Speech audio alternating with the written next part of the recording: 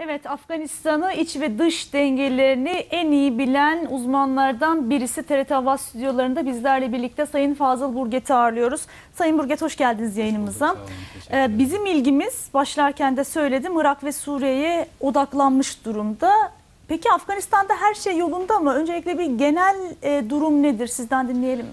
Ee, Şimdi e, tabii ki 2014 seçimlerinde herkes e, özellikle uluslararası kamuoyu ya da Afganistan içerisinde herkes bir yeni bir umut arayışında idi. Özellikle Aşraf Gani'nin adaylığıyla e, herkes Aşraf Gani'nin e, yeni bir e, dönem başlatabileceğini umuyorlardı. Ama e, geçen neredeyse iki buçuk yıl içerisinde beklentilerin tam tersine herkes e, deyim yerindeyse adeta Karzai dönemini arar, Arar oldu. e, oldu. E, güvenlik e, konusunda e, herhangi bir başarı elde edilmedi maalesef. E, eskiden Taliban e, tamamen bir savunma pozisyonundaydı. E, özellikle Pakistan-Afganistan sınırlarında e, daha çok böyle gerilla taktiğiyle e, savaşmaya devam ediyorlardı. Ama e, son dönemlerde özellikle son iki yıldır tamamen bir saldırı pozisyonuna e, geçmiş durumunda. Hatta bazı bölgeleri, bazı ilçeleri, bazı illeri tahdit etmeye başladı. Bazı ilçeleri tamamen kontrolünde bulunduruyor ve eskiden e, tabii ki e, daha çok Güney Afganistan bir tehdit altındaydı ama son dönemlerde neredeyse tüm Afganistan hatta başkent Kabil e, bile zaman zaman e, işte roket atarlarla Tehdit tehdit, altına. giriyor ve kuzey bölgeleri ki en güvenli bölge olarak biliniyordu ama maalesef son dönemlerde e, kuzey bölgeleri de yaş- yaşanmaz bir e, durumda. Peki diğer dönüşümler gerçekleştirilebildi mi? Mesela biz Karzai evet bir geçiş dönemiydi. Ee, Taliban'dan ülke yeni kurtulmaya başlamıştı. Ee, kurumları yeni oluşmaya başlamıştı. Ee, bu yüzden bir e, deyim yerindeyse kredisi vardı Karzai'nin. O krediyi kullandı ve gitti. Eşref Gani'ye başka bir kredi açıldı. Hem uluslararası toplum hem Afganistan halkı e, arasında bir dönüşüm bekledi. Artık kurumsallaşma bekledi. Bu kurumsal e, yapıya ulaşma noktasında Eşref Gani nasıl İşte, puan aldı? e, şu var, e, tabii ki Aşraf Gani'nin başarılı olması e, tabii Afganistan'da sadece Aşraf Gani değil, herkes olursa başarılı olması e, çok güç görünüyor. Çünkü Afganistan'da e, bazı e, güç dengeleri değişik, farklı etnik gruplar, Doğru. farklı aynı zamanda farklı komutanlar, mahalli komutanlar, farklı bölgesel liderler. Yani adeta Afganistan e, bir e, parçalanmış yani güç anlamında bir parçalanmış bir durumda.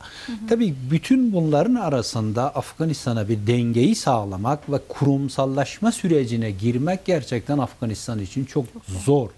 E, ve bütün yani her bir bakan, her bir e, bölgesel lider kendisine göre farklı bakanlıkları, farklı illerin valiliklerini talep etmektedir. Yani bunların hepsini memnun etmek oldukça güç. Doğru. Ve başka taraftan uluslararası kamuoyu yani- yani Afganistan'ı destekleyen özellikle ülkeler de e, birinci şart olarak kurumsallaşmayı koyuyor. Doğru. Yani özellikle kurumsallaşma olmazsa Afganistan'da biz destek veremeyiz diyor. Çünkü onlar da haklı bir e, Kişiye tarafta. vermiş Tabii oluyor kişiye vermiş oluyor. Dolayısıyla yine Aşraf Gani'nin önünde çok e, büyük zorluklar da özellikle e, bazı bölgesel liderler ya da e, bazı etnik gruplar e, bazı zorlukları yaratmaya devam Siz etmektedir. şimdi bölgesel liderler e, dediğinizde benim aklıma hemen e, Afganistan'da o merkezileşmenin henüz sağlanamadığı geliyor. Tabii kesinlikle. Mesafe tabii ki. aslında çok uzun yıllar geçti e, Afganistan operasyonu üzerinden. Nedir bu bölgesel liderleri merkeze bağlama, e, bağlamanın önündeki engel? Şimdi e, şu var, e, özellikle Afganistan e, 30 yıllık biraz önce sizin bahsettiğiniz gibi 30 yıllık bir savaşın içinden, bir savaşın enkazı üzerinde bir sistem kurulmaya çalışılıyor. Yani bu savaşın getirdiği bir takım zorluklar var. 30 yıllık e, bir adeta deyim yerindeyse bir anarşizmin hakim olduğu bir bölgede e, yeni bir sistem oluşturulmaya çalışılıyor. Şimdi burada o sistemin oluşturulması oldukça güçtür. Yani bölgesel liderler dediğimiz yani özellikle bu 30 yıl savaş boyunca belli bir bölgede e, komuta etmiş, kendi kontrolünde kendisi hem devlet, kendisi hem Güce sahip yani, güce mi? sahip, bütün e, belli bir mahkemeye sahip, belli bir polis birliğine sahip. Adeta Afganistan bir e, yani fiilen bir parçalanmış Doğru. bir durumdaydı. Şimdi bütün bunları bir merkeze bağlamak gerçekten de güç. E, Yani bütün bunlar kendi çıkarları doğrultusunda belli çıkar çelişkileri de bulunmaktadır. Kendi çıkarları doğrultusunda Aşraf Gani ile e, müzakereye otur, otururlar. Şimdi Aşraf Gani seçim kampanyasında bu vaatleri vermişti. Diğer taraftan seçimlerde Aşraf Gani'yi destekleyen 25 tane bölgesel komutan ve lider bulunmaktaydı. Ve 25 tane bölgesel liderin her birinin ayrı istekleri, ayrı bir talepleri bulunmaktaydı. Şimdi e, Aşraf Gani e, Cumhurbaşkanı olduktan sonra bunlar taleplerini tek tek dile getirmeye başlayınca bu sefer araları biraz bozulmaya karıştı. karıştı.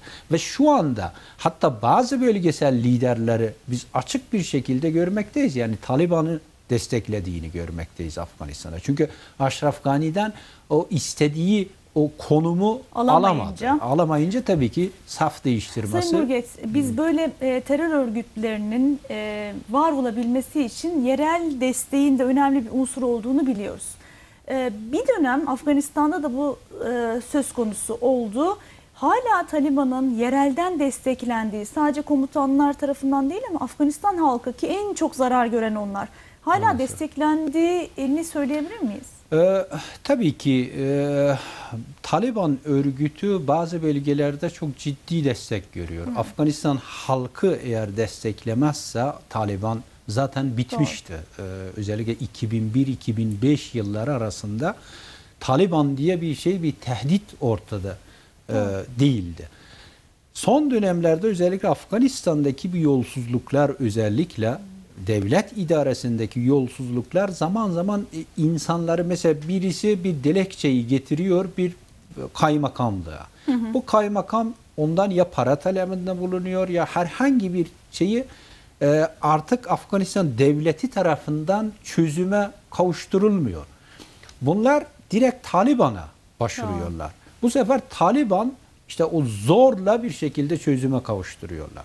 Bu sefer insanlar yani oradaki e, sıradan halk zaten talepleri yerine ge- gelmeyince e, artık e, şeydir İşte- yani taraf değiştirebilirler. Bu nedenle kurumsallaşma çok önemli. Bu nedenle istikrar çok önemli. Ee, bu nedenle bizi kimlerin temsil ettiği çok önemli. Ee, herhangi bir alternatife ihtiyaç duymaması insanların büyük önem taşıyor. Afganistan'da istikrar ve güvenliği konuşurken o Kuzey Veziristan'ı konuşmasak olmaz. Ee, Pakistan'ın e, Pakistan'a yönelik suçlamaları vardı Kabil'in. Ee, Taliban Kuzey Veziristan'dan destekleniyor. Ee, Buradan destek kesilmezse Taliban'la mücadele gerçekleştirilemez diye. Amerika Birleşik Devletleri de bu görüşüne katılıyordu Kabil'in çoğunlukla. Ne dersiniz? Hala Pakistan o e, bölgeyi kontrol altına e, alamıyor mu? E, Şimdi e, bir taraf Pakistan'ın bölgeyi kontrol etmesinden ziyade burada Pakistan'ın menfaatleri söz konusu. Evet. Afganistan'daki karışıklıklardan. Bir kere Afganistan bu kısa bir e, şey zaman içerisinde bunu anlatmak oldukça güç. Bir kere Afganistan'la Pakistan arasında bir sınır sorunu var. Ee, bu sınır Durand hattı diye bilinen e, özellikle 1893'te çizilen Hindistan'la Pakistan, Afganistan arasında çizilen bir hat var. Bu hat farklı dönemlerde Afganistan tarafından kabul edildiyse de son dönemlerde özellikle bu e, artık özellikle 1925'lerden sonra e, bu sınırı tanımamaya başladı. Daha sonra e, Pakistan e, ortaya çıktıktan sonra 1947'de artık bunu yeniden gündeme getirdi. Özellikle orada bir Peştun bölgesi var. Peştunistan e, iddiasıyla Afganistan e, işte Peştunistan iddiasını ortaya atmaya başlarlar. İngilizler gerçi o dönemlerde Peştunistan diye bir konunun e, gündeminde Gündemde olmadı. olmadığını iddia ettiyseler de Afganistan bunu kabul etmedi. O günden bugüne kadar o sınırı kabul etmiyorlar. Afganistan tarafı bu sınır sınırlarının e, ta 1747'de Ahmet Şah Durrani'nin e, kurduğu Afgan devleti iddiası içerisinde Afganistan hı hı. devleti. Yani ta e, Sint Nehri ya da Indus Vadisi'ne kadar ileri götürmek Bu istiyordu. Pakistan'ın içine kadar içine giriyor. kadar hatta Peşavur tamamen Afganistan'a bağlı olduğunu iddia ediyorlar. Neredeyse Keşmir e, bölgelerine kadar, yakınlarına kadar. Şimdi e, durum böyleyken Afgan Pakistan tabii ki kendi sınır e, güvenliğini korumak için bir takım strateji geliştirmek durumunda. Ya Afganistan'ın bu karışıklığı bir tarafta Afgan, hiçbir zaman bu sınırın gü, gündeme gelmemesi Gelmemiş. Anlamına geliyor. Başka bir taraftan Afganistan her ne kadar e, bir ziraat ülkesi olmasına rağmen bugün e, domates biberine kadar Pakistan'dan satın alıyor. Bu e, bunun temel sebebi de Afganistan'da istikrarın sağlanmaması. Doğru. İşte istikrar sağ, sağlanmayınca ziraat tamamen felç oluyor. Doğru. Dolayısıyla Pakistan'a bağlı kalınıyor. Hı hı. Ve Afganistan'ın güney bölgelerinde hatta Afga, Pakistan'ın Afganistan'ın şu andaki milli parası bile geçerli değil. Pakistan parasıyla alışveriş yapıyorlar. Şimdi durum böyleyken Pakistan tabii ki bu e, büyük bir e, potansiyeli elden e, vermemeye çalışıyor. Dolayısıyla tabii ki Pakistan'ın diğer e, taraftan da Pakistan'ın kuzeyindeki Veziristan bölgesine de medreselerin hakimiyeti söz konusudur.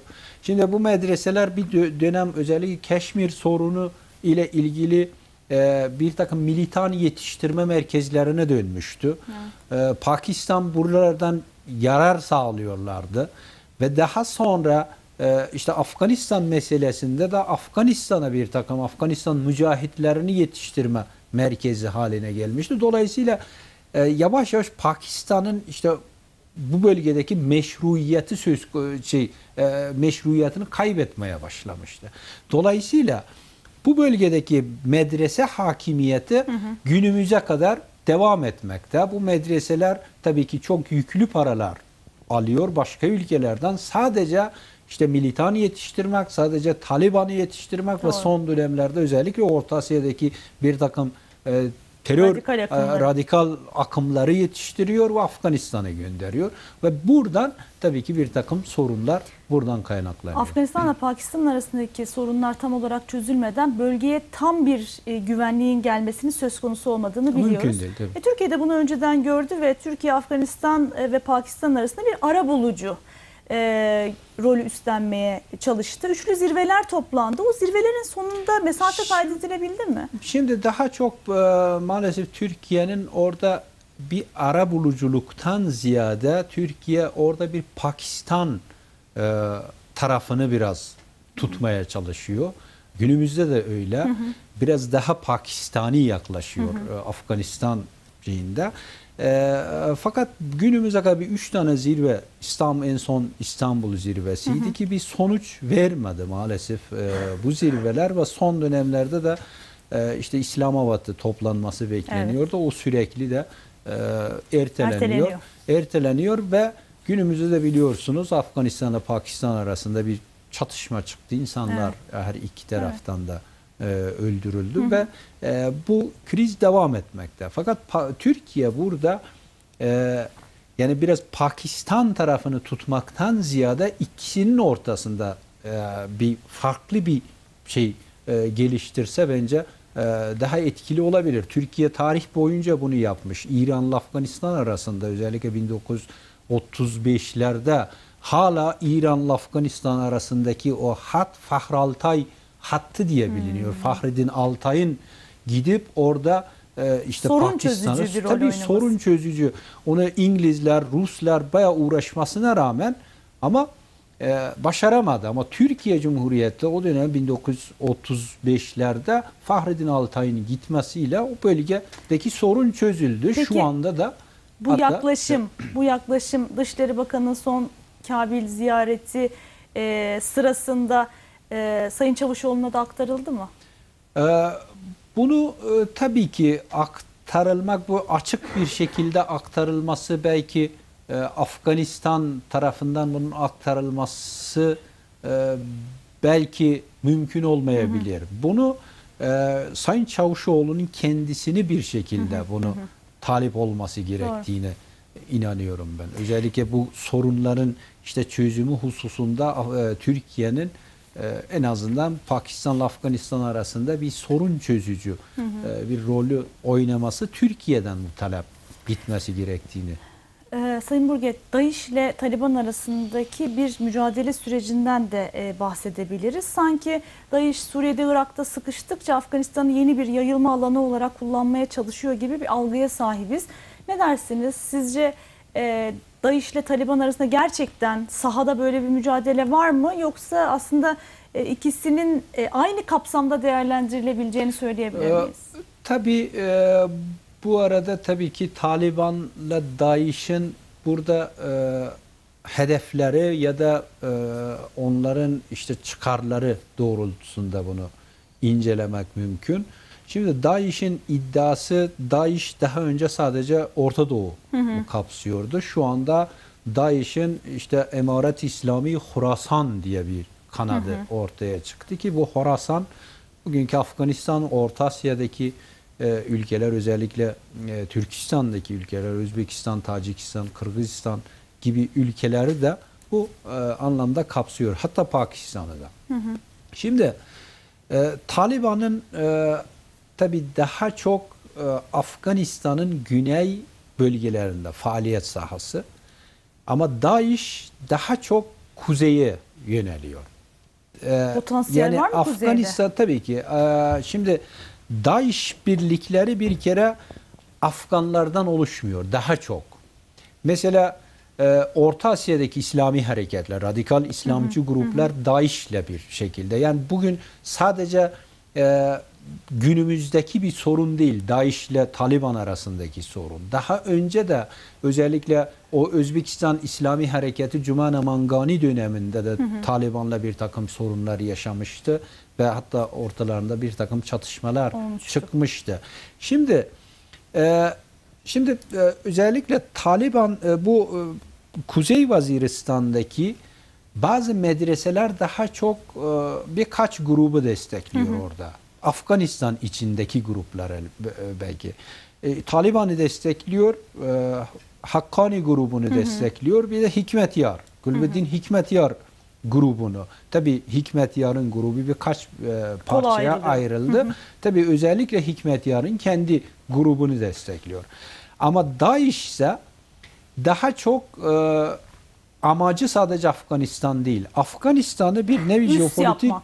Güzergah şeklinde kullanıyor ve Orta Asya dolayısıyla Rusya. O zaman DAEŞ'in o zaman büyük şeyi. bir tehdit de söz konusu. Zira Orta Asya ülkelerinin Kesinlikle. hepsi teyakkuzda. Tabii, DAEŞ saflarında çalışan bu teröristler e, ülkemizde faaliyet göstermeye başlarlarsa, eylem yapma potansiyeline erişirlerse bu bizim için bir felaket olur Kesinlikle, derler. tabii. Haklı olduklarını da söyleyebiliriz. Tabii, kesinlikle.